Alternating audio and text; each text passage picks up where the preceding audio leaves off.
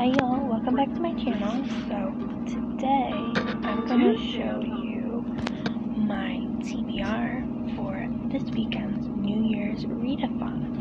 So let me show you what I plan to read for this weekend. Okay. Let's get this okay. Coming Back by Lauren Dane. This is a read a book and then donate it prop. So I'm really excited about that one. Um, read a thick book that you normally wouldn't read. Two by Two by Nicholas Sparks.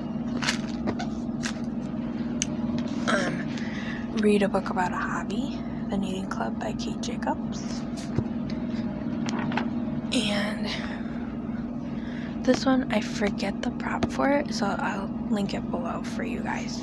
But The Lying Room by Nicci French is another book I'll be reading for this weekend's readathon.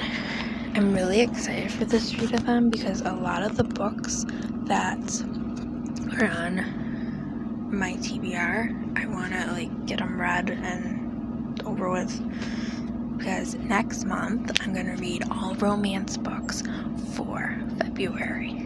So that's really exciting to me. And the other books I have to read that don't have anything to do with the readathon are Scarlet Letter,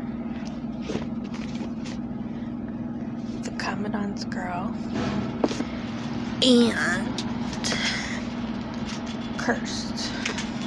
So I'm really excited for that readathon this weekend, and I'm hoping to get these three books read this weekend too, as well as finish my current read, Jane Eyre by Charlotte Bronte, which is a buddy read with my cousin. So we had so much fun talking about it last night. Like the part that we're up to now, we both agreed that some of the characters we just do not like, and they're very nasty and bossy to Jane Eyre, and we just felt that way.